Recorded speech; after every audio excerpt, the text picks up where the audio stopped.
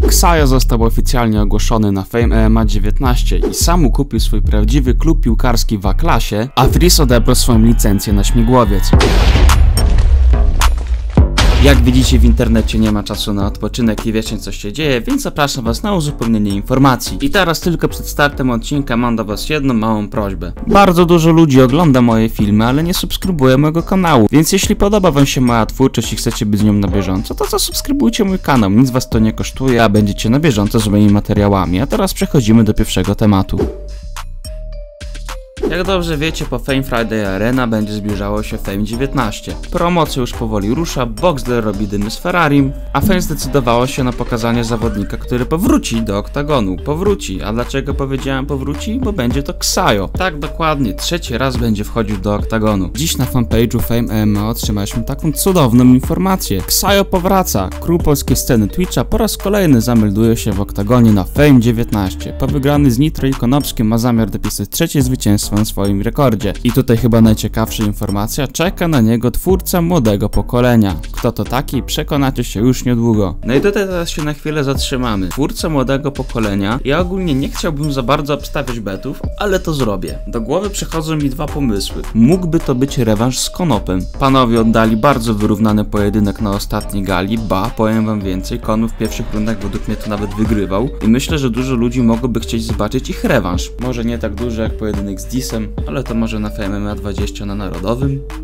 Mój drugi bet, taki trochę bardziej prawdopodobny, to Łatwo Gang. Jeśli pamiętacie, Łatwo Gang ma kontrakt z Fame MMA, Boxer poinformował o tym kiedyś na swoim TikToku. Łatwo Gang nagrywa właśnie głównie na TikToku, ale na YouTube robi speedrun kariery i, i nagrywał z masą twórców. Ba, powiem wam więcej, na kanale Łatwo Ganga można zobaczyć banger Quebo, który ostatnio wypuścił.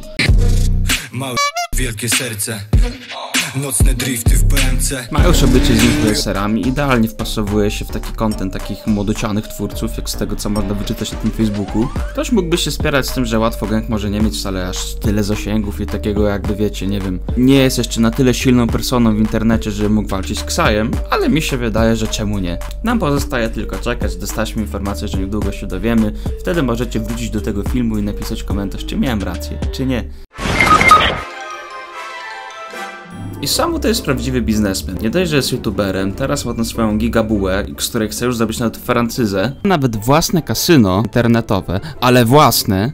A teraz postanawia podbić polską piłkę nożną.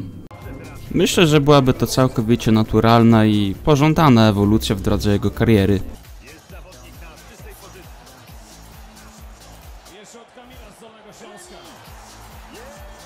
Idziemy zagrać w CS, nie?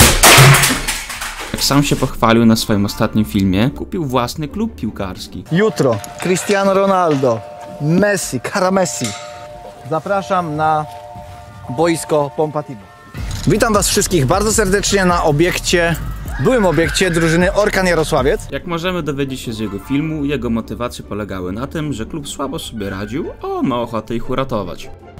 Jest to drużyna bliska mojemu sercu, bo jako młodszy wariat przychodziłem tutaj na mecze, miałem klasy z Jarosławca, mam dużo znajomych z Jarosławca.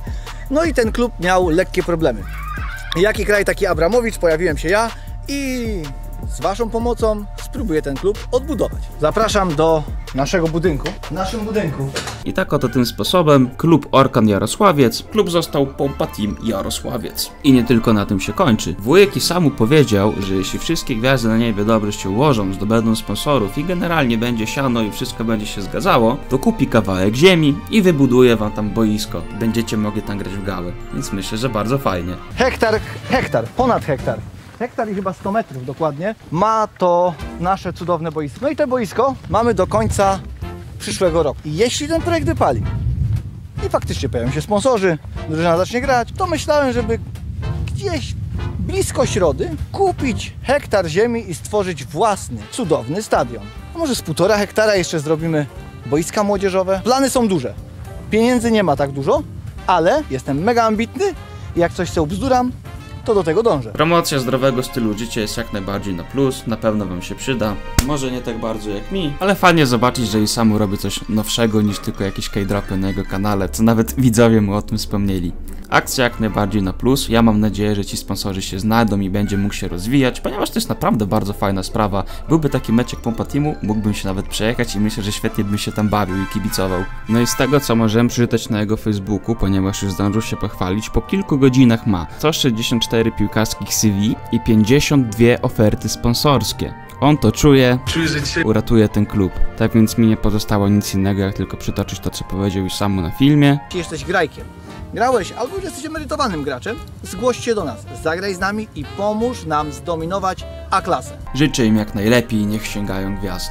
Wiecie, kto jeszcze może sięgnąć gwiazd? No może nie do końca gwiazd, może bardziej bliżej chmur, ale mimo wszystko Freeze może już sobie latać śmigłowcem, ponieważ zdobył swoją licencję.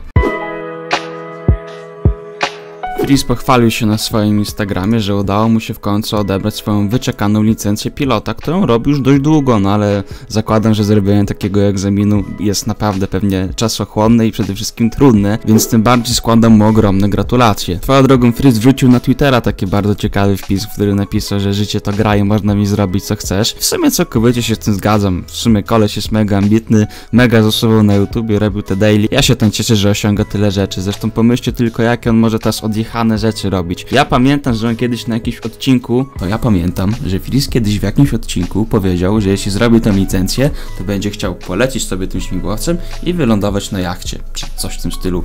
Mam nadzieję, że to się wydarzy, a myślę, że Fris mógłby coś takiego zrobić. To byłby dobry content. No ja wam muszę powiedzieć, że chłop robi na mnie gigantyczne wrażenie, jest mega ambitny, dużo pracuje. Teraz sobie w końcu wyrobił tę licencję na helikopter, zresztą w ogóle obczajcie teraz tą sytuację.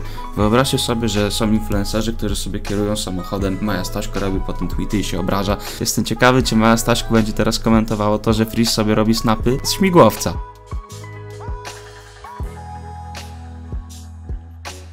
No ale muszę wam powiedzieć, że te widoczki z Warszawy zapierają dech w piersiach. Bardzo zazdroszczę. Ale też z drugiej strony trzeba pamiętać, że to w sumie wszystko zasłużone swoją ciężką pracą.